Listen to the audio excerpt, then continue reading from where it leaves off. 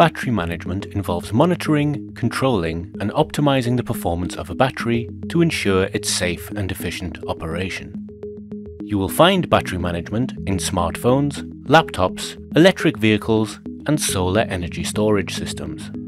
In our solar energy storage application, a battery management system can regulate the charging and discharging processes, ensuring that the batteries are charged efficiently during periods of sunlight and discharged appropriately when energy is needed.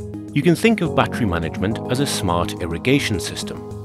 Just as the irrigation system monitors soil moisture, adjusts water flow, and prevents overwatering or drought, battery management oversees the energy levels, controls charging and discharging, and prevents issues like overcharging or deep discharging from which a battery won't recover.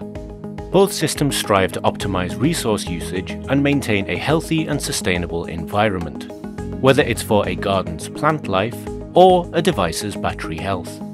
Battery management systems integrate a variety of essential hardware components.